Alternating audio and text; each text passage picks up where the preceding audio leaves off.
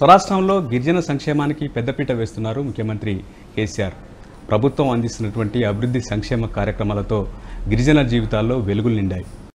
ఎన్నో ఏండ్లుగా పెండింగ్లో ఉన్నటువంటి డిమాండ్లను నెరవేర్చి గిరిజనులు ఆత్మగౌరవంతో జీవించేలా చేశారు ముఖ్యమంత్రి. ముఖ్యమంత్రి కేసీఆర్ నాయకత్వంలో మంత్రి సత్యవతి రాథోడ్ గిరిజన శాఖను అభివృద్ధి పదంలో తీసుకెళ్తున్నారు. తెలంగాణ దశాబ్ది ఉత్సవాలు జరుగుతున్న వేళ గిరిజన శాఖ ప్రగతిపై మనతో మాట్లాడేందుకు సత్యవతి రాథోడ్ గారు మేడం నమస్తే. నమస్తే మా తండాలో మా రాజ్యం అనేది ఎన్నో ఏండ్ల కళ. ఇది నెరవేరింది తండాలు గూడాలు గ్రామ పంచాయతీలైంది.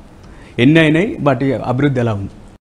చాలా సంతోషం గౌరవ ముఖ్యమంత్రి గారికి నేను ఈ సందర్భంగా ప్రత్యేకంగా ఒక గిరిజన బిడ్డగా ధన్యవాదాలు తెలియజేస్తా ఉన్నాను. తెలంగాణ రాష్ట్రం ఏర్పడినప్పటి నుంచి గిరిజన సంక్షేమానికి ఒక స్వర్ణయుగం అని చెప్పొచ్చు. అందులో ప్రధానంగా మొదటిసారి ముఖ్యమంత్రి అవడంతోనే రి- రిజర్వేషన్ పెంచి ఇవ్వమని చెప్పి ఒక కమిషన్ వేసి దానికి అసెంబ్లీలో తీర్మానం చేసి పంపించడంతో పాటు మూడు వేల నూట నలభై ఆరు తండాలు గూడాలను గ్రామ పంచాయతీలుగా చేసి తద్వారా మా గిరిజన బిడ్డలకు వాళ్ళు వాళ్ళ ప్రాంతాలని వాళ్ళ తండాల్ని వాళ్ళు పాలించుకునే గొప్ప అవకాశం ఇవ్వటం మా గిరిజన బిడ్డలకు ఆత్మగౌరవంతో బతికే విధంగా అవకాశం కల్పించడం ఇది గిరిజన సమాజం ఎప్పుడు మర్చిపోనటువంటి సంఘటన. ఈరోజు తండాలు గ్రామ పంచాయతీ అవ్వడం ద్వారా సర్పంచులుగా లేకపోతే వారు అన్ని రకాల రిజర్వేషన్ అమలు చేయడం ద్వారా ముప్పై వేల మంది ప్రజాప్రతినిధులు వార్డు మెంబర్తో మొదలుకుంటే నే నా వరకు మంత్రిగా ముప్పై వేల మంది గిరిజన బిడ్డలు ఆత్మగౌరవంతో తలెత్తుకొని ఈ రాష్ట్రంలో మేము కూడా పాలకులుగా పనిచేసే అవకాశం వచ్చిందని కేసీఆర్ నాయకత్వంలో చాలా ఉత్సాహంగా పనిచేస్తున్నారు.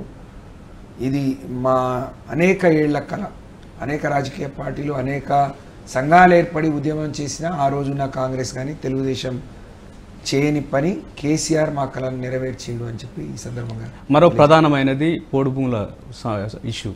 దాన్ని శాశ్వత పరిష్కారం చూపుతాను త్వరలో పట్టాలు ఇవ్వబోతున్నాం అని చెప్తున్నారు. ఎప్పుడు ఎప్పుడు ఇస్తున్నారు? ఎంతమంది లబ్ధిదారులు ఉన్నారు అంటే ఏం చెప్తారు? నిజంగా ఇది కూడా చాలా రోజులుగా నానుస్తున్న సమస్య. గౌరవ ముఖ్యమంత్రి గారు ఒకవైపు అడవులను కాపాడుతూనే ఇంకోవైపు అడవులను ఆధారం చేసుకొని పోడు చేసుకొని బతుకుతున్న గిరిజనులకు సంబంధించిన నాలుగు లక్షల మూడు వేల ఎనిమిది ఎకరాలు. ఇరవై నాలుగు నుంచి ముప్పై తారీఖు లోపు ఈ పోడు పట్టాలన్నీ కూడా గౌరవ ముఖ్యమంత్రి గారే స్వయంగా జిల్లాలకు వచ్చి పంచాలని నిర్ణయం తీసుకోవటం. తద్వారా మూడు లక్షల ఎనభై నాలుగు వేల మంది లబ్ధిదారులకు దీని ద్వారా మేలు జరగబోతుంది. ఇప్పటికే గతంలో మొత్తం పోడు చట్టం అమల్లోకి వచ్చిన తర్వాత ఇప్పటివరకు మేము పంచిన పోడు ఇచ్చిన పోడు పట్టాలు మూడు లక్షలు అయితే ఒకేసారి నాలుగు లక్షల మూడు వేల మంది. నిజంగా ఇది ఒక అద్భుతమైన ఘటన. ఇంతమంది గిరిజన బిడ్డలు మరి దీనికి హక్కుదారులు కాబోతున్నారు. వాళ్ళు సదా గౌరవ ముఖ్యమంత్రి గారికి కృతజ్ఞతలు తెలియజేస్తా ఉన్నారు. ఇరవై నాలుగు నుంచి ముప్పై తారీఖులో ముప్పై ఈ ఆరు రోజులు ఈ దశాబ్ది ఉత్సవాలు ముగిసిన వెంటనే ఒకరోజు విరామం ఇచ్చి ఇరవై నాలుగు నుంచి ముప్పైకి ప్రోగ్రామ్ షెడ్యూల్ త్వరలో రాబోతుంది. ఈ సందర్భంగా ముఖ్యమంత్రి గారికి ఇన్ని కుటుంబాల తరఫున ఇన్ని గిరిజన జీవితాలు బాగుపడుతున్న సందర్భంగా ధన్యవాదాలు. ఇంకోటి గిరిజన జనాభాకు అనుగుణంగా రిజర్వేషన్లు పెంచారు. ఎంతవరకు లబ్ధి చేకూరింది ఆ గిరిజన జనంలో ఎటువంటి సంతోషం ఉంది అంటే చెప్తారు. ముఖ్యమంత్రి గారు అంటే గిరిజనుల సంఖ్య తెలంగాణ రాష్ట్రం ఏర్పడ్డ తర్వాత గణనీయంగా పెరిగింది. అమలవుతున్న ఆరు శాతం రిజర్వేషన్ సరిపోదు. పది శాతంగా ఉన్న గిరిజనులను మీకు మీ రిజర్వేషన్ పెంచాలి దానికి మనం ఉద్యమిద్దాం. తెలంగాణ వస్తే నేను చేసే మొదటి పని అదే అని చెప్పి ముఖ్యమంత్రి గారు ప్రజలకు గిరిజనులకు ఒక నమ్మకాన్ని విశ్వాసాన్ని ఇచ్చారు. తదనుగుణంగా రాష్ట్రం ఏర్పడిన వెంటనే చెల్లప్ప కమిషన్ వేసి దాని మీద ఒక స్టడీ చేసి చెల్లప్ప కమిషన్ నివేదిక ఆధారంగా క్యాబినెట్లో తీర్మానం చేసి అసెంబ్లీ తీర్మానం చేసి కేంద్రానికి రెండు వేల పదిహేడులో పంపించిన కేంద్ర ప్రభుత్వం నిర్ణయం తీసుకోలేదు. కేంద్రానికి ఎందుకు పంపించాల్సి వచ్చింది అంటే రాష్ట్రంలో యాభై శాతం రిజర్వేషన్ అమలవుతుంది కాబట్టి యాభై శాతం మించకూడదు అని ఒక నిబంధన ఉంది కాబట్టి మళ్ళీ ఎక్కడ దానికి లీగల్గా టెక్నికల్గా ఛాలెంజ్ కాకూడదు ఇబ్బంది కాకూడదు అని ముఖ్యమంత్రి గారు ఆలోచించి ఆ రోజు పంపించడం జరిగింది. కానీ ఐదేళ్ళు దాని మీద ఎటువంటి నిర్ణయం తీసుకోకుండా కేంద్ర ప్రభుత్వం నాంచివేత ధోరణి తీసుకోవడం చూసి ఇప్పటికే గిరిజనులకు అన్యాయం అవుతుంది అని చెప్పి సెప్టెంబర్ పదవ తేదీన పదిహేడవ తేదీన గౌరవ ముఖ్యమంత్రి గారు స్వయంగా తెలంగాణ రాష్ట్రం ఈ ప్రభుత్వమే దీన్ని అమలు చేస్తుంది అని చెప్పి ఆరు శాతంగా ఉన్న గిరిజన రిజర్వేషన్ని పది శాతంగా పెంచడం నిజంగా ఇదొక విప్లవాత్మకమైనటువంటి నిర్ణయం. దీని ద్వారా అనేక మంది గిరిజన బిడ్డలు విద్యలో ఉద్యోగాల్లో అవకాశాలు వచ్చాయి. అనేక మంది నీట్ ఇంజనీరింగ్ సీట్లు అడిషనల్గా పొందడం జరిగింది.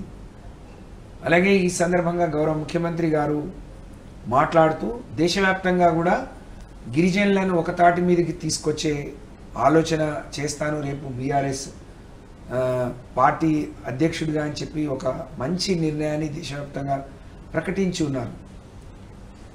కేసీఆర్ గారు ఆ రోజు స్వర్గీయ ఎన్టీఆర్ నాలుగు నుంచి ఆరు శాతానికి పెంచితే అద్భుతం అనుకున్నాం. కానీ ఆరు నుంచి ఒకేసారి పది శాతం నాలుగు శాతం పెంచడం ద్వారా అనేక మంది జీవితాలు అనేక కుటుంబాలు దీని ద్వారా లబ్ధి పొందాయి.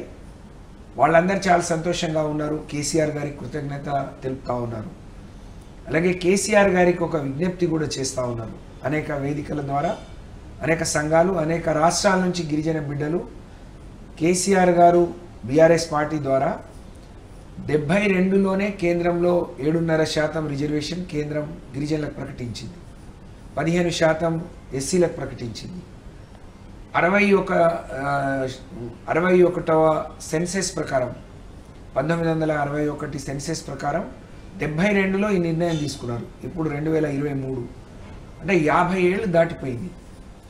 కేంద్ర ప్రభుత్వాన్ని మేము డిమాండ్ చేస్తూ ఉన్నాం. యాభై ఏళ్ళు అయిపోయింది. అప్- ఇప్పటివరకు మా పెరిగిన జనాభాకు అనుగుణంగా మా రిజర్వేషన్ ఇవ్వాలని మరి మేమంతా గొడ్డుపోయినట్టు కేంద్రం నానవేత ధోరణి నాంచివేత ధోరణి ధోరణి అవలంబిస్తూ ఉంది. అలాగే ఎక్కడ కూడా ఈ జనాభా జనగణన కూడా మొదలు పెట్టకపోవడం మేము ఎంతమంది ఉన్నామో మాకు తెలియకుండా ఒక డార్క్లో పెట్టడం అనేది ఇది సరి అయింది కాదు. గౌరవ ముఖ్యమంత్రి గారిని మా సమాజం అంతా కూడా విజ్ఞప్తి చేస్తూ ఉంది. గిరిజనులందరినీ ఒక తాటి మీద తీసుకొచ్చే ప్రయత్నం. ఎందుకు చెప్తున్నాను అంటే మన పక్కనే ఉన్న కర్ణాటక ఎస్సీలుగా ఉన్నారు. మన పక్కన ఉన్న మహారాష్ట్రలో బీసీలుగా ఓబీసీలుగా ఉన్నారు. కాబట్టి ఒకే భాష మాట్లాడే ఈ జాతి అంతా ఒక తాటి మీద ఉండాలి. ఒకే రకమైన మరి వాళ్ళు లబ్ధిని పొందాలి కాబట్టి వాళ్ళందరినీ ఎస్టీ జాబితాలో చేర్చే విధంగా కేసీఆర్ గారు ముందుకు నడవాలని చెప్పి ఈ సమాజం కోరుతాం ఇంకోటి ములుగులో ఆనాడు ఉద్యమ కాలంలో జరిగినటువంటి సంఘటన గిరిజన ఇంట్లో జరిగినటువంటి సంఘటన. ఈరోజు కళ్యాణ లక్ష్మి షాదిమార పథకానికి శ్రీకారం చుట్టింది. ఎంతోమంది పేదింటికి పిల్లలకు ఈరోజు మేనమావగా కేసీఆర్ నిలిచారు. ఏం చెప్తారు? ఆ సంఘటన సంబంధించి కావచ్చు. గిరిజనుల్లో ఎలాంటి లబ్ధి చేకూరింది? భాగ్యతండలో జరిగిన సంఘటన అది ములుగు జిల్లా ములుగు ఇప్పుడు ములుగు నియోజకవర్గం. భాగ్యతండలో జరిగిన సంఘటన ఈ రాష్ట్రంలో పదమూడు లక్షల తొంభై ఐదు వేల మంది ఆడపిల్లల జీవితాలకు మరి ఒక కొత్త వెలుగునిచ్చిందని చెప్పొచ్చు. ఇప్పటి వరకు పదమూడు లక్షల తొంభై ఐదు వేల మంది ఆడపిల్లల వివాహాలు అయినాయి దానికి ఇప్పటికే పదకొండు వేల కోట్ల రూపాయలు ఖర్చు పెట్టాం. నిజంగా ఎంత అద్భుతం అంటే ఈరోజు పె పెళ్ళిళ్ళకు పాలోళ్ళని పిలిచిన మేనమామలను పిలిచిన ఒక పట్టీలకో మెట్టెలకో నోచుకోలేని పరిస్థితి పేదవాళ్ళది. అలాంటి సమయంలో భారతదేశంలోనే ఒక అద్భుతమైన పథకం కళ్యాణ లక్ష్మి షాదీ ముబారక్. దీని ద్వారా ఇంత లబ్ధి చేకూరడం ఇది భారతదేశంలో ఒక ప్రత్యేకమైన కార్యక్రమం. ముఖ్యమంత్రి గారు ఆ రోజు ఆ కల్పన అనే అమ్మాయి పెళ్ళి చేశారు. ఇల్లు కాలిపోతే ఆ సామాన్లు కాలిపోయి డబ్బులు కాలిపోయిన ఏడ్చిన తండ్రిని ఓదార్చి యాభై వేల కట్నం ఇచ్చి పెళ్ళి చేసిన ఘనత కేసీఆర్ గారిది. ఎంత అద్భుతం అంటే ఉద్యమ ఉద్యమంలో ఉన్నప్పుడు ఆ తల్లి పెళ్ళి చేస్తే ఆమె పుట్టిన అమ్మాయికి వాళ్ళు కేసీఆర్ గారి కృతజ్ఞతగా చంద్రకళ అని పేరు పెట్టుకున్నారు. ఆ అమ్మాయి కూడా గత ఏడాది మరి నర్సంపేటలో పెద్ది సుదర్శన్ రెడ్డి గారి దగ్గర నుండి వివాహం జరిపించారు. దానికి కళ్యాణ లక్ష్మి రూపంలో ఆ రోజు ఆ తల్లి స్ఫూర్తితో వచ్చిన కళ్యాణ లక్ష్మి పథకం ద్వారా ఆ అమ్మాయికి ఇరవై లక్ష నూట పదహారులు కళ్యాణ లక్ష్మి ఇచ్చి పెద్ది సుదర్శన్ రెడ్డి గారి కుటుంబం భార్యాభర్తలు పెళ్ళి చేసి భోజనాలు పెట్టి వాళ్ళకి ఇంటికి కావాల్సిన సామాన్లన్నీ మేము సమకూర్చినాం. అంటే పద్దెనిమిది ఏళ్ళు నిండిపోయిన అమ్మాయి. అంటే ఈ ఆ రోజు కేసీఆర్ గారి మనసులో అంకురించిన ఈ ఆలోచన పదమూడు లక్షల తొంభై ఐదు వేల మంది కుటుంబాలకు మరి వెలుగునిచ్చింది అని చెప్పి కళ్యాణ లక్ష్మి రూపంలో ఇది కేసీఆర్ గారికి ఈ రాష్ట్రంలో ఉండే పేద కుటుంబాలు దళిత గిరిజన కుటుంబాలు వారి ఆశీస్సులు నిండుగా ఎప్పుడు కేసీఆర్ గారికి ఉంటాయని చెప్పి నేను తెలియజేస్తాను. గిరిజనుల విద్యకు సంబంధించి ఏం చెప్తారు? చాలా వారి చదువు కోసం ఎలాంటి కార్యక్రమాలు చేస్తూ ఉన్నారు? మన కాలేజీలు కానీ లేదా రెసిడెన్షియల్ పాఠశాలలు కానీ ఎన్ని పెట్టారంటే ఏం చెప్తారు? నిజంగా అంటే రాష్ట్ర వ్యాప్తంగా గురుకులాలు రెండు వందల డెబ్బై మూడు ఉంటే తెలంగాణ రాకముందు ఈరోజు ఒక వెయ్యి ఒకటి. అందులో గిరిజనులకు తొంభై ఒకటి ఉంటే ఇప్పుడు తొంభై మూడు. అంటే డెబ్భై ఏళ్ళలో వచ్చిన వాటికంటే ఏడేళ్ళలోనే మేము దాన్ని నూరు శాతం కంటే ఎక్కువ పెంచుకోవడం జరిగింది.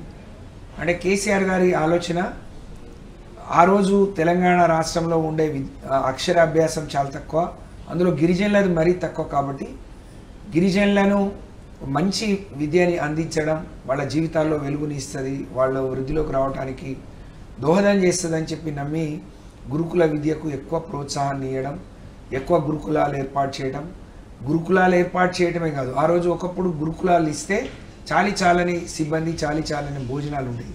కానీ సగటున ఒక విద్యార్థి మీద లక్ష ఇరవై ఐదు వేల రూపాయలు మేము ఖర్చు పెట్టి మొత్తం బోధనేతర బోధన సిబ్బందిని బోధనేతర సిబ్బందిని కూడా ఒకే రోజు నియమించడం. అలా చేయడం ద్వారా బ్రహ్మాండమైన ఫలితాలు వస్తున్నాయి. ఆ బిడ్డలు కూడా కేసీఆర్ గారు ఇచ్చిన అవకాశాన్ని అందిపుచ్చుకొని ప్రపంచంతో పోటీ పడే విధంగా ముందుకెళ్తున్నారు.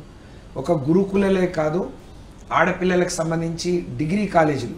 పద్దెనిమిది ఏళ్ళు నిండితేనే మరి కళ్యాణ లక్ష్మి వస్తుంది అని అంటే ఒకవైపు కళ్యాణ లక్ష్మి వల్ల లాభంతో పాటు ఇంకోవైపు అనేక ఏళ్ళుగా ఉన్న సామాజిక రుగ్మత. చిన్నపిల్లలకు పెళ్ళిళ్ళు చేయటం అనేక ఇబ్బందులు ఎదుర్కొన్న ఆడపిల్లలకు ఒక విముక్తి కూడా కళ్యాణ లక్ష్మి ద్వారా జరిగింది. ఇక్కడ కళ్యాణ లక్ష్మికి పద్దెనిమిది ఏళ్ళు టెన్త్ ఇంటర్మీడియట్ తర్వాత ఆ అమ్మాయి ఏం చేయాలి అని అంటే ఒకే రోజు ఇరవై రెండు డిగ్రీ రెసిడెన్షియల్ స్కూల్స్ కూడా మరి గిరిజన సంక్షేమ శాఖలో ప్రవేశపెట్టడం ఆడపిల్లల చదువు కూడా ఎక్కువ ప్రోత్సాహాన్ని ఇవ్వడం. తెలంగాణలోనే కాదు దేశవ్యాప్తంగా ఎక్కడికి పోయి చదువుకున్నా వాళ్ళకు స్కాలర్షిప్స్ ఇవ్వడం. మరి ప్రపంచవ్యాప్తంగా పోయి చదువుకోవడానికి కూడా అంబేద్కర్ ఓవర్షిప్ పేరిన ఇరవై లక్షల రూపాయలు ఇవ్వడం. తద్వారా అనేక మంది గిరిజన ఇప్పటి వరకు కేసీఆర్ గారు తెలంగాణ రాష్ట్రం ఏర్పడిన తర్వాత పదమూడు వందల ఇరవై ఐదు మంది విద్యార్థులు వివిధ దేశవ్యాప్తంగా ఉన్న ప్రతిష్టాత్మకమైన విద్యాలయాల్లో విద్యా సంస్థల్లో మరి ఎన్ఐటీలలో ఐఐటీలలో ఎయిమ్స్లలో మంచి మంచి పాఠశాల మరి విద్యాలయాల విశ్వవిద్యాలయాల్లో చదువుకునే గొప్ప అవకాశం దీని ద్వారా వచ్చింది. అలాగే విద్యతో పాటు వాళ్ళేదో ఉ- చదువుకొని ఉద్యోగాలు వెతుక్కొని బయటికి వచ్చే పని లేకుండా ఎవరికి ఉత్సాహం ఉంటుందో కేసీఆర్ గారి పేరు మీదనే సీఎం ఎస్టీ ఎంటర్ప్రినర్స్ అని ఒక కొత్త స్కీమ్ని ముఖ్యమంత్రి గారి పేరు మీదనే ఇచ్చేసి యాభై లక్షలు సబ్సిడీతోని. మరి వాళ్ళు వ్యాపారం చేసుకునే విధంగా పది మందికి జీవనోపాధి ఇచ్చే విధంగా కూడా ఇప్పటికే మూడు వందల ముప్పై మూడు మంది మరి ఈ నూట రెండు కోట్ల రూపాయలు వాళ్ళకి సబ్సిడీ రూపంలో వచ్చింది.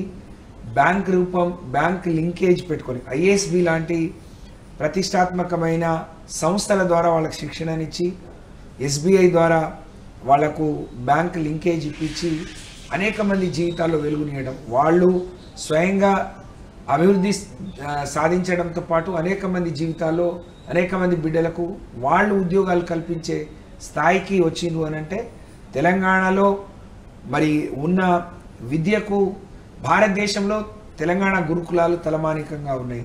అలాగే ఇందులోనే మరి జాబ్ ఓరియంటెడ్ కోర్సులు ఒక ఇంటిగ్రేటెడ్ లా కోర్స్ భారతదేశంలో ఎక్కడ లేదు. అది ట్రైబల్ వెల్ఫేర్లో సోషల్ వెల్ఫేర్లో ఉంది. అలాగే ఒక సైనిక పాఠశాల అశోక్ నగర్లో బ్రహ్మాండమైన సైనిక పాఠశాల ఉంది. అలాగే మన సిరిసిల్లాలో ఫైన్ ఆర్ట్స్ అకాడమీ ఉంది.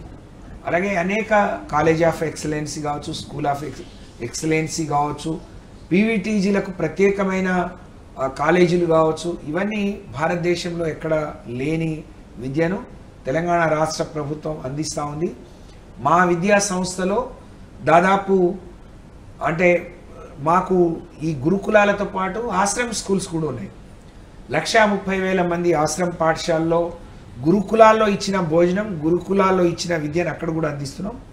ఆశ్రమ్ స్కూల్లో లక్ష ముప్పై వేల మంది అలాగే ముప్పై ఐదు వేల మంది గురుకుల విద్య ద్వారా గురుకుల పాఠశాలలో చదివిస్తున్నారంటే సుమారు రెండు లక్షల మంది మా బిడ్డలు కేసీఆర్ గారు ఇస్తున్న ప్రోత్సాహం ద్వారా మరి తల్లిదండ్రులు మాకు అప్పగిస్తే వాళ్ళ విద్యకు కావాల్సిన అన్నీ కూడా మేము సమకూర్చి వాళ్ళకి కావాల్సిన బట్టలు కావచ్చు కాస్మెటిక్స్ కావచ్చు లేకపోతే పుస్తకాలు కావచ్చు అన్నీ మేమే ఇచ్చి వాళ్ళని కంటికి రెప్పలా కాపాడుకుంటున్నాం. వాళ్ళకు ఒక రక్షణ కవచంలాగా ఉన్నాం. ఇది భారతదేశంలో ఎక్కడ లేని విద్యా వ్యవస్థను ఇక్కడ ఎస్టాబ్లిష్ చేసి వాళ్ళు వాళ్ళ ఉన్నతికి వాళ్ళ అభివృద్ధికి ఈ రాష్ట్ర ప్రభుత్వం కేసీఆర్ గారు తీసుకుంటున్న చొరవ నిజంగా నేను ఒకప్పుడు అందుబాటులో విద్యా పాఠశాలలు లేక విద్య మధ్యలో మానేసిన బిడ్డను ఒక డ్రాప్ అవుట్ని. ఇంతమంది బిడ్డలకు కేసీఆర్ గారి పుణ్యాన వారి సంకల్పంతో తీసుకు చదువుకునే అవకాశం రావడం. గిరిజన బిడ్డగా నేను కేసీఆర్ గారికి మరొకసారి రెండు చేతులు జోడించి నమస్కరిస్తా ఉన్నాను అంటే ఉమ్మడి రాష్ట్రంలో ఉన్నప్పుడు సీజనల్ వ్యాధులు మొత్తం గూడాల్లో కానీ తండాల్లో కానీ ఆదివాసీ పల్లెల్లో వచ్చేటువంటి పరిస్థితి. మంచపట్నం అనే హెడ్డింగ్లు కూడా వచ్చేది. కానీ ఇప్పుడు ఆ పరిస్థితి లేదు. ఎలా సాధ్యమైంది? ఏం ఎటువంటి ప్రికాషన్స్ అక్కడ తీసుకుంటున్నారు? అంటే ఈ తండాలు గ్రామ పంచాయతీలు చేయడం అక్కడ ఒక పంచే ప్రత్యేక పంచాయతీ అధికారిని నియమించడం. ఒకప్పుడు మేము ఆ రోజు కాంగ్రెస్ ప్రభుత్వం దగ్గర తెలుగుదేశం ప్రభుత్వం దగ్గర పోయి మాకు తండాలు గ్రామ పంచాయతీలు ఇవ్వండి అని అంటే వాటికి నిధులు రావు అవి అభివృద్ధి కావు. మీరు వచ్చే నిధులు కూడా రాకుండా అడ్డుకుంటున్నారని మాకు చెప్పారు. కానీ కేసీఆర్ గారు ఈ పంచాయతీరాజ్ వ్యవస్థలో కేంద్ర మరి ఫిఫ్టీన్త్ ఫైనాన్స్ ఎంత గ్రాంట్ ఇస్తుందో అంతే సమానంగా రాష్ట్ర వాటనిచ్చి ప్రతి గ్రామ పంచాయతీకి కూడా నేరుగా నిధులు ఇవ్వడం ద్వారా అక్కడ పరిపాలన అధికారిని నియమించడం ద్వారా ఈరోజు భారతదేశంలో నేను అనుకుంటా అన్ని గ్రామ పంచాయతీలతో పాటు మేము ఏర్పాటు చేసుకున్న మూడు వేల నూట నలభై ఆరు గ్రామాలకు కూడా ట్రాక్టర్లు ట్యాంకర్లు ట్రాలీలు అన్ని వైకుంఠ ధామాలు లేకపోతే పల్లె ప్రకృతి వనాలు డంపింగ్ యార్డ్లు అన్నీ కూడా మేము సమకూర్చుకోగలిగినాం. బ్రహ్మాండమైన రోడ్లు సీసీ రోడ్లు కానీ సైడ్ కాలువలు కానీ వేసుకోవడం అనేక తండాలు గూడాలకు హెల్త్ సబ్ సెంటర్లు నియమించడం. అంగన్వాడీ సెంటర్ల సర్వీసు ప్రతి తండాకు వచ్చే విధంగా మేము నిర్ణయం తీసుకోవడం. ఇవాళ అందుకనే అలాగే స్వచ్ఛమైన మిషన్ భగీరథ నీళ్ళు ఇవ్వడం. ఇప్పటి వరకు నీళ్ళు ఇవ్వాలి అని అంటే కరెంట్ కావాలి వాళ్ళకు మోటార్లు నడవాలి అని అంటే. మూడు వందల యాభై కోట్లు ఖర్చు పెట్టి కేసీఆర్ గారు స్వాతంత్రం వచ్చిన తర్వాత కూడా ఈ పల్లెలకు త్రీ ఫేజ్ కరెంట్ కానీ అసలు కరెంట్ లేని పరిస్థితి ఉండకూడదు అని చెప్పి రెండేళ్ళు కష్టపడి రెండోసారి వచ్చిన తర్వాత రెండేళ్ళు కష్టపడి అన్ని ఆవాసాలకు త్రీ ఫేజ్ కరెంట్ ఇవ్వడం స్వచ్ఛమైన నీళ్ళు ఇవ్వడం. ఇవాళ అందుకనే మన్యంలో జ్వరాలు కానీ మన్యంలో మంచం పట్టే పరిస్థితి అధిగమించగలిగినాం. నేను ములుగు జిల్లాకు స్వయంగా ఇన్ఛార్జిగా ఉన్నాను. ఎక్కువ గిరిజనులు ఉన్న మహబూబాద్ జిల్లాలో ఉన్నాను. ఎక్కడ కూడా ఒక డయేరియా కేసు కానీ మలేరియా కేసులు నమోదు కావడం లేదు అని అంటే ఇది ముఖ్యమంత్రి గారి పుణ్యం. రాష్ట్ర ప్రభుత్వం తీసుకుంటున్న చర్యల వల్ల ఇవన్నీ కూడా మేము అరికట్టగలిగాం. ఇవన్నీ సాధ్యమైనాయి అని చెప్పి నేను తెలియజేస్తాను. గిరిజనులు అంటే అడవిలో దొరికేటువంటి వస్తువులకు సంబంధించి ఉత్పత్తులు వాళ్ళు చేసేటువంటివి వాటి మార్కెటింగ్ ఏ రకంగా ఉంది? గిరిజన మహిళలకు ప్రోత్సాహకాలు ఏ రకంగా ఉన్నాయి? అంటే ఏం చెప్తారు? నిజంగా జీసీసీ గిరిజనులు ఆదివాసీలకు ఒక జీవనోపాధిని ఇచ్చే సంస్థ. జీసీసీ ద్వారా మేము అనేక డిపోలు పెట్టి గిరిజనులకు ఆ ప్రాంతాల్లో అన్నీ అందుబాటులో ఉండవు కాబట్టి మేము రేషన్ కానీ మిగతా వస్తువులు అక్కడి నుంచి అమ్మే అటువంటి అలాగే గిరిజనులు సేకరించే తేనె కావచ్చు లేకపోతే అనేక వస్తువులు. వాటిని మార్కెటింగ్ చేసే సంస్థ జీసీసీ అనేక ఫ్యాక్టరీలు ఏర్పాటు చేసుకొని ఉన్న క్రమంలో ఈ తెలంగాణ విభజన వచ్చిన తర్వాత రాష్ట్ర రాష్ట్ర విభజనలో మరి ఆ రోజున్న కేంద్ర ప్రభుత్వం కానీ ఒక తీరని అన్యాయం జీసీసీకి చేసిందని చెప్పాలి. వాళ్ళు జీతాలు కూడా మనం ట్రెజరీ నుంచి ఇచ్చే విధంగా దాదాపు నాలుగు వందల మంది ఉద్యోగస్తులు ఇక్కడ మిగిలిపోయిలు కానీ జీసీసీ అనేక ఫ్యాక్టరీలు అవన్నీ ఆంధ్రాకి వెళ్ళిపోయాయి. కానీ కేసీఆర్ గారు చూపించిన చొరవ ద్వారా ఈరోజు జీసీసీని నాలుగు నాలుగు వందల కోట్ల లాభాల్లోకి తీసుకురాగలిగినాం గిరిజనులు సేకరించే వస్తువులను కొనుగోలు చేయడం ద్వారా దానికి మంచి మార్కెటింగ్ చేయడం ద్వారా అలాగే వాళ్ళు సేకరించే స్వచ్ఛమైన వస్తువులతోని మేము తయారు చేసే సబ్బులు కావచ్చు షాంపూలు కావచ్చు కోవిడ్ అప్పుడు శానిటైజర్లు తయారు చేయడం కావచ్చు అలాగే అనేక ఉత్పత్తులను మేము ఇక్కడ మార్కెటింగ్ చేయడం అనేక ఫ్యాక్టరీలు కూడా మేము నిర్మాణం చేసుకున్నాం. నిన్న గౌరవ ముఖ్యమంత్రి కేసీఆర్ గారి పేరుతో అందులో న్యూట్రిషన్ కిట్ గర్భిణీలకు మనం పంపిణీ చేస్తే అందులో చిక్కీలు చిరుధాన్యాలతో తయారు చేసే చిక్కీలు మా జీసీసీ తయారు చేసింది. ఈరోజు రాష్ట్ర వ్యాప్తంగా మంచి బ్రాండింగ్తోని జీసీసీ తేనెను మేము మార్కెటింగ్ చేస్తున్నాం. జీసీసీ తయారు చేసే వస్తువులు సబ్బులు కావచ్చు షాంపూలు కావచ్చు మిగతా అన్ని వస్తువులను తిరిగి ఈ విద్యా సంస్థలకే మేము కొనుగోలు చేస్తాం. పిల్లలకు కావాల్సిన సబ్బులు కానీ పసుపు పౌడర్లు చేసే యూనిట్ ఫ్యాక్టరీ కానీ కారప్పొడి చిల్లీ పౌడర్ తయారు చేసే ఫ్యాక్టరీలు కానీ చిక్కీలు తయారు చేసే ఫ్యాక్టరీలు కానీ ఇవన్నీ తయారు చేయడం ద్వారా ములుగు గుపాల్పల్లి భద్రాచలం ఏరియాలో లేకపోతే ఆసిమాబాద్ ఏరియాలో ఉట్నూరు ఐటీడీలో లేకపోతే మననూరు ఐటీడీలో ఏర్పాటు చేసిన చిక్కిల యూనిట్ ద్వారా మరి ఈ జీసీసీ యూనిట్ల ద్వారా బ్రహ్మాండమైన మాకు డిమాండ్ ఉంది. అమెజాన్ కానీ ఫ్లిప్కార్ట్ కానీ మీ తేనె కానీ మీ సబ్బులు మాకు ఏమని చెప్పి మాకు డిమాండ్ చేస్తా ఉన్నా. సప్లై చేయలేనంత పరిస్థితి. అంటే ఇంకా ఈ ఉత్పత్తిని పెంచుకుంటాం. ఇప్పటికే లాభాల్లో ఉన్న జీసీసీ. గౌరవ ముఖ్యమంత్రి గారికి ఇక్కడ కూడా జీసీసీలో ఉమ్మడి ఆంధ్రప్రదేశ్లో అనేక మంది పనిచేసిన వాళ్ళు చనిపోయారు. ఆ కారుణ్య నియామకాలకు సంబంధించిన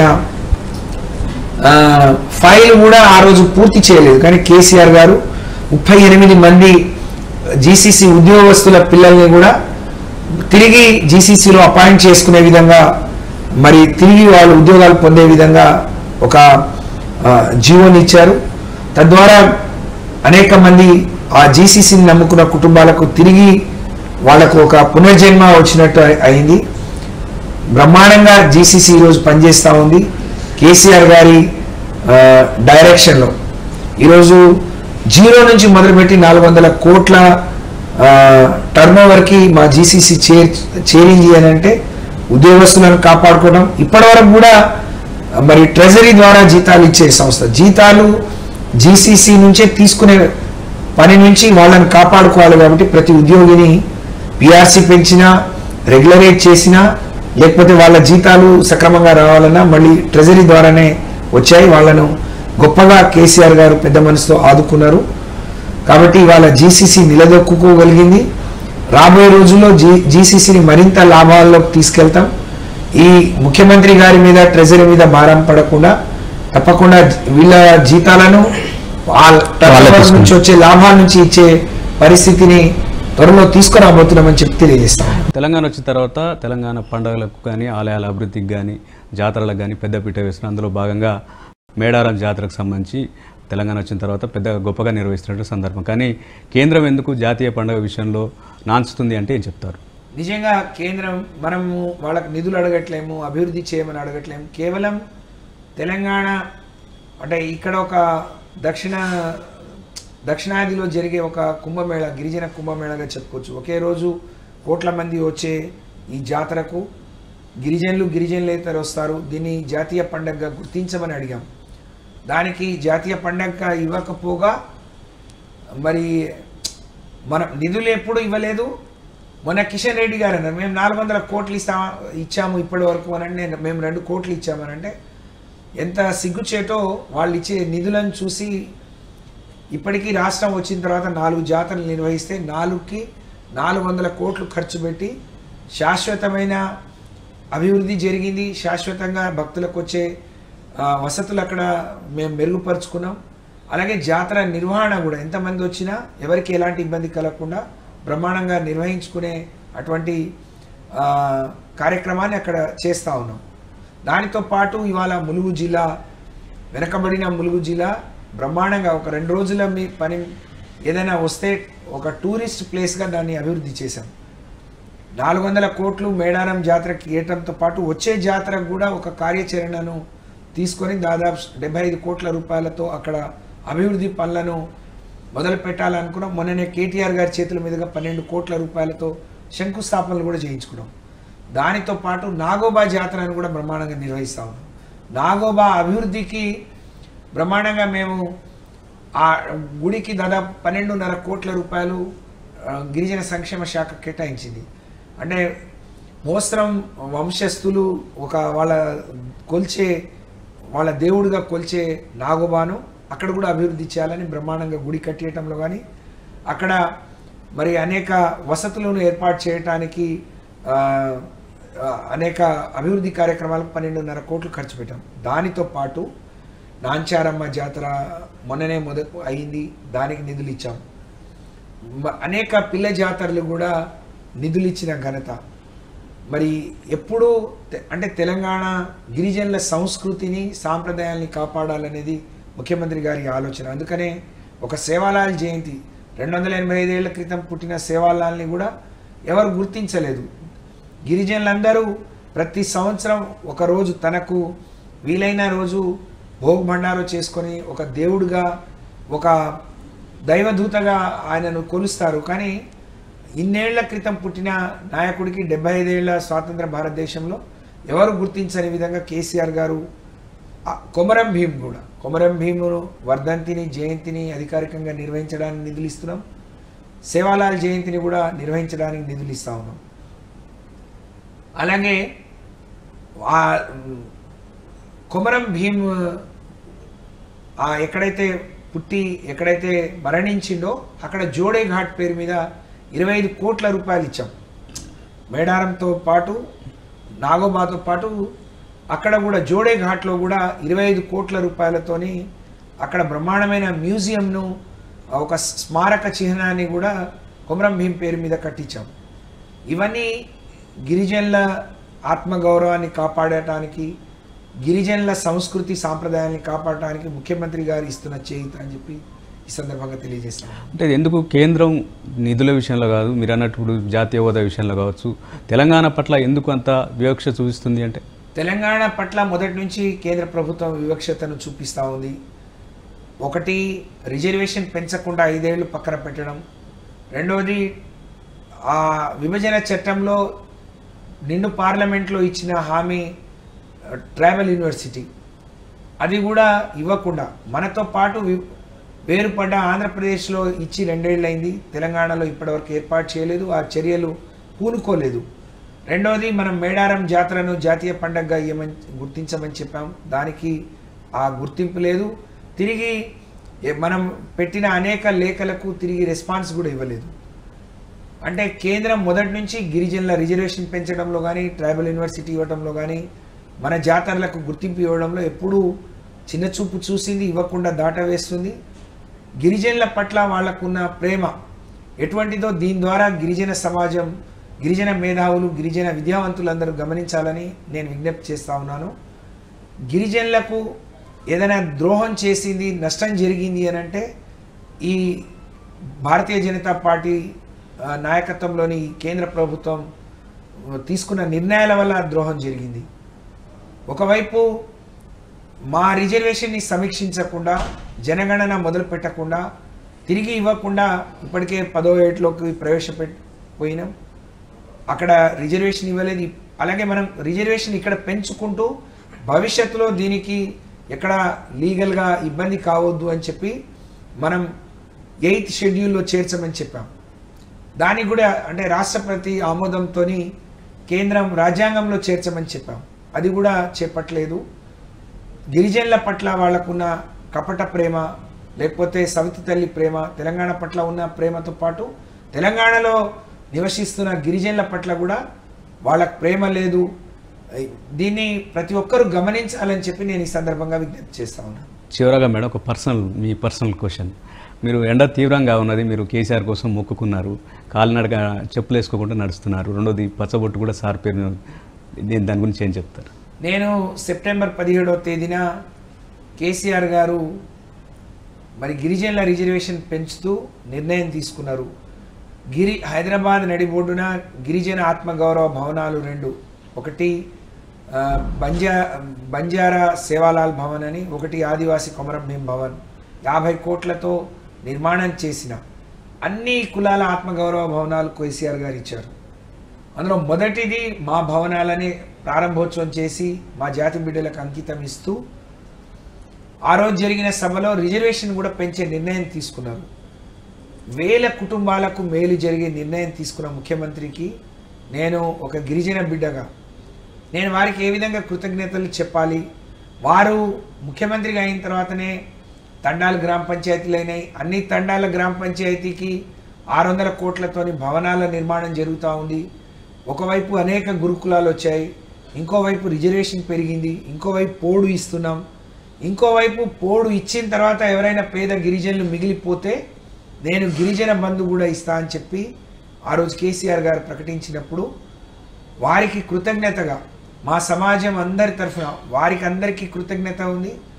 నేను ఒక సామాన్య కుటుంబంలో పుట్టిన గిరిజన బిడ్డను రాజకీయంగా కానీ ఆర్థికంగా కానీ నా స్థితిగతులు చూస్తే నేను ఇవాళ మంత్రిగా ఉండటం అంటే అది కేసీఆర్ గారు పెట్టిన భీక్ష.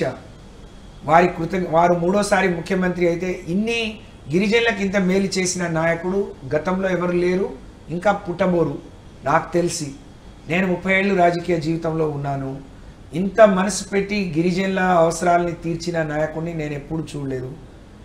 ఆ తీర్చే క్రమంలో వారితో నేను ఉండడం నా పూర్వజన్మ సుకృతం. నేను జీవితాంతం వారికి రుణపడి ఉంటాను. ఆ క్రమంలో మరి గిరిజనులకు ఇంత మేలు చేసిన నాయకుడు మూడోసారి ముఖ్యమంత్రి కావాలి. తద్వారా మాత్రమే మిగిలిపోయిన మా పనులు అవుతాయి మేము ఇంకా నాలుగు అడుగులు ముందుకేయగలుగుతాము. కాబట్టి నేను ఆ రోజు నుంచి చెప్పులు మానేసి భగవంతుడిని మూడోసారి ముఖ్యమంత్రి చేయమని నేను ఎక్కడికి పోయినా ఏ దేవుని ప్రార్థించినా ముఖ్యమంత్రి గారి పేరునే మొదటి అర్చన చేయిస్తాను. నేను వ్యక్తిగతంగా వారికి ఏ విధంగా కృతజ్ఞతలు చెప్పాలి అన్నప్పుడు చెప్పులు లేకుండా మరి ఈ ఇంకో తొమ్మిది నెలలు అయిపోయింది ఇంకో ఆరు నెలలు. ఈ సంవత్సరం నాకు పెద్ద ఇబ్బంది. నేను ఎదుర్కొన్న ఇబ్బందులు మా జాతి ఎదుర్కొన్న ఇబ్బందుల్లో ఇది పెద్ద ఇబ్బంది అనిపించలేదు కాబట్టి నేను ఆ రోజు చెప్పులు మానేయడం జరిగింది. అలాగే దశాబ్ది ఉత్సవాల్లో మేము ఇరవై రోజులు గిరిజన ఉత్సవాలు బంజారా భవన్లో నిర్వహిస్తున్నాం. అంటే ప్రతిరోజు ఏదో ఒక కార్యక్రమం ఏదో ఒక విభాగంలో నిర్వహిస్తున్న క్రమంలో మాకు రోజు ఒక కార్యక్రమం నిర్వహించుకునేంత గొప్ప అవకాశం వచ్చింది. అంటే చెప్పుకుంటూ పోతే రోజు ఒక కార్యక్రమం గురించి గొప్పగా చెప్పవచ్చు అలాంటప్పుడు మా తోటి గిరిజనులే వాళ్ళు తోటి కులస్తులు. ఆ రోజు కొమరం భీమ్తో కొట్లా కొమరం భీంకు తోడుగా ఉన్న వంశస్థులు వాళ్ళు. వాళ్ళు తోటి కులస్తులు. వాళ్ళు అప్పుడు ఊళ్ళల్లో తిరిగి పచ్చబొట్లు పొడిచేది. అనే వాళ్ళకి జీవనోపాధి. కాబట్టి ఆ కుటుంబ సభ్యుల ద్వారా నేను నా జీవితాంతం నాతో ఉండే. నేను కేసీఆర్ గారు ముఖ్యమంత్రిగా అయిన తర్వాత చెప్పులు వేసుకుంటా అని చెప్పాను. కానీ నా జీవితాంతం రోజువారిని ఒకసారి గుర్తు చేసుకునే విధంగా నా తల్లిదండ్రుల నా తల్లిదండ్రులు నాకు జన్మనిస్తే రాజకీయ పునర్జన్మనిచ్చింది కేసీఆర్ గారు. కాబట్టి నాకు దైవ సమానుడు. ఆ పేరు ఎప్పుడు నాతో ఉండాలని చెప్పి గుర్తుగా నేను ఈ పచ్చబొట్టును పొడిపించుకున్నాను. అది నాకు అంటే ఒక్కొక్కసారి మనం ఎవరైనా మనకు ఏదైనా ఇస్తే ఏమి ఇచ్చి తిరిగి ఏది ఇచ్చి కృతజ్ఞతలు చెప్పుకోవాలని మనం వెతుక్కుంటాం. నేను నాకు ఇదే సరి అయిన పద్ధతి అనిపించింది కాబట్టి నేను పచ్చబొట్టు పొడిపించుకున్నాను. సో వారితో అంటే ఇవన్నీ జరిగే క్రమంలో నేను వారితో ఉండడం. మీకు ఇంకో విషయం కూడా చెప్పాలి. పదిహేడో తారీఖున తెలంగాణ విలీన దినోత్సవం అని చెప్పి మనం నిర్వహించుకున్నాం. ఆ రోజు ప్రతి జిల్లాలో జెండా ఎగురవేయాలి. నేను మంత్రిగా మహబూబాద్కి రావాలి. కేసీఆర్ గారి ప్రోగ్రాం హైదరాబాద్లో ఉంది కాబట్టి సార్ నేను వెళ్ళను. నాకు నేను ఇక్కడే ఏర్పాట్లు చేసుకుంటానంటే నువ్వు గిరిజన బిడ్డవు వచ్చిన అవకాశాన్ని ఎందుకు వదులుకుంటావు అని చెప్పి హెలికాప్టర్ ఇచ్చి నేను కారులో వస్తే అందుకోలేను అని చెప్పి హెలికాప్టర్ ఇచ్చి పంపించి మళ్ళీ పిలిపించుకొని నాకు ఆ కార్యక్రమం అంటే ఇక్కడ నా కార్యక్రమం నిర్వహించే విధంగా అక్కడ నా కార్యక్రమం నిర్వహించే విధంగా గొప్ప ఎంత మనసు పెట్టి అని అంటే ఇలా ప్రోత్సాహన పోయిరామా కొంచెం ఆలస్యమైన చేద్దామని అంటారు. కానీ హెలికాప్టర్ ఇచ్చి నన్ను మా ఊరికి పంపించడం జరిగింది. అయితే ఆ హెలిప్యాడ్ ఏది అని అంటే మా- నా తండ్రి చనిపోయినప్పుడు సార్ వస్తారని అధికారులు అక్కడ హెలిప్యాడ్ నిర్మాణం చేసి. మా తండ పక్కన. నేను హెలికాప్టర్లో అయితే ఆ రోజు సార్ కొన్ని కారణాల వల్ల రాలేకపోయారు. నేను తండలోనే హెలికాప్టర్ దిగాను. అయితే నేను ఎక్కడున్నాను నాకు అర్థం కాలేదు. ఎందుకంటే రెండు మూడు వేల మంది చుట్టుపక్కల వాళ్ళు నేను హెలికాప్టర్లో వస్తున్నట్టు ఒక గంట ముందు తెలుసు అంతే వాళ్ళకి. రెండు మూడు వేల మంది హెలిప్యాడ్ దగ్గర ఉన్నారు. నేను పరేషాన్ అయినా ఏంటి ఇంతమంది ఉన్నారు అని. ప్రతి ఒక్కళ్ళు ఏడిపోయి మేము ఎప్పుడో డెబ్బై ఎనిమిదిలో మరిపేడకు హెలికాప్టర్లో ఇందిరాగాంధీ వస్తే చూసాము మా బిడ్డ మా ఇంట్లో పుట్టి పెరిగిన బిడ్డ కేసీఆర్ నాయకత్వంలో మంత్రిగా ఉంది అని అంటే మేము ఎప్పుడూ సంతోషపడుతున్నాం. మేమే మంత్రులుగా ఉన్నట్టు అంత భావిస్తాము. అలాంటిది మా బిడ్డ జెండా ఎగరేయటానికి హెలికాప్టర్లో వచ్చింది అని అంటే మాకు ఇంతకంటే ఏం కావాలి? మాకు మా బిడ్డని ఈ విధంగా చూసుకుందామని వచ్చినామని నాతో మాట్లాడటం కంటే ఏ అందరి కళ్ళలో నీళ్ళు మా అన్నయ్య వదిన కూడా వచ్చిరు అమ్మ నాన్న చనిపోయిన తర్వాత మా అన్న వదినలే ఒక తల్లిదండ్రులుగా మమ్మల్ని చూస్తున్నారు. నన్ను కలిసే ధైర్యం నా దగ్గరికి వచ్చే ధైర్యం కూడా అంటే ఆ ఏడ్పు చూసి నా పట్ల నా ప్రాంతంలో ఉన్న మా వాళ్ళకు ఉన్న ప్రేమను చూసి నేను నిజంగా చెల్లించిపోయాను నాకు వచ్చిన సంతోషం కంటే ఆ వాళ్ళ ఆనంద బాష్పాలు చూసి నిజంగా నా జన్మ ధన్యమైందని అనుకున్నాను. కాబట్టి నేను ఈ జన్మంతా నా కంఠంలో ప్రాణం ఉన్నంత వరకు కేసీఆర్ గారు వెంట నడవటానికి నేనే కాదు మా ప్రాంతంలో ఉండే అనేక మంది నేను పుట్టి పెరిగిన ఊరు కావచ్చు ఆ చుట్టుపక్కల తండాలు కావచ్చు అందరూ కూడా ఆ రోజు వాళ్ళ ఆనంద బాష్పాలు చూస్తే చాలా చాలా ఇది అనిపించింది నిజంగా అప్పటి వరకు నేను సంతోషంగా హెలికాప్టర్లో వస్తున్నాను నా ఊరికి అనుకున్నాను కానీ అక్కడికి వచ్చిన తర్వాత. వాళ్ళ వాళ్ళ వాళ్ళ ఎమోషన్స్ చూసి వాళ్ళ ఏడుపు చూసి వాళ్ళ ఆనంద బాష్పాలు చూసి నిజంగా అంటే అదంత గొప్ప నిర్ణయం అని ఇంత గొప్ప అవకాశం అని గొప్ప కేసీఆర్ గారి నిర్ణయం ఇంత అంటే వారి ఏ నిర్ణయమైనా చాలా నిగూఢంగా దాని వెనుక ప్రతిదీ ఇది ఉంటుంది కానీ అది చూసి మాత్రం ఆ రోజు నాకు జీవితంలో మర్చిపోలేని సంఘటన అది. మా అన్నయ్య కలవలేదు అన్నయ్య వదిన రాలేదు అందరూ వచ్చింది అని అంటే వాళ్ళు ఇక ఎంత ఏడుస్తున్నారు అంటే అసలు right madam thank you thank you thank you very much ఇది ఇవాళ స్పెషల్ ఇంటర్వ్యూ. మరో గెస్ట్తో మళ్ళీ కలుద్దాం. చూస్తూనే ఉండండి టీ న్యూస్. తెలంగాణ గుండె చెప్పు.